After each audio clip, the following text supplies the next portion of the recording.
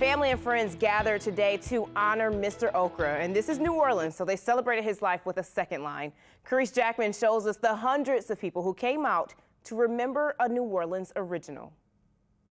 We're here on the corner of Louisa and Dauphine where you can see a second line is taking place to honor Mr. Okra.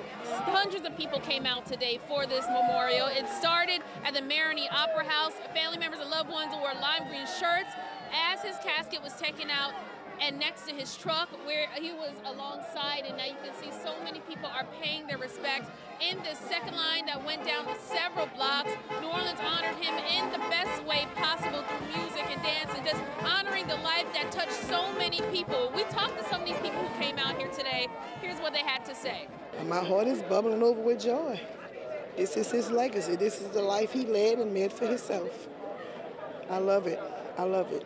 Well, I used to come by every morning, you know, like, uh, and I always want bananas. And before I just hear the truck, you know, like first of all, you wake up to it. You know, I got, I got the mango, I got oranges, I got man, I got all this stuff. So I'd run out the house, and he'd slow down, and he'd just wink at me.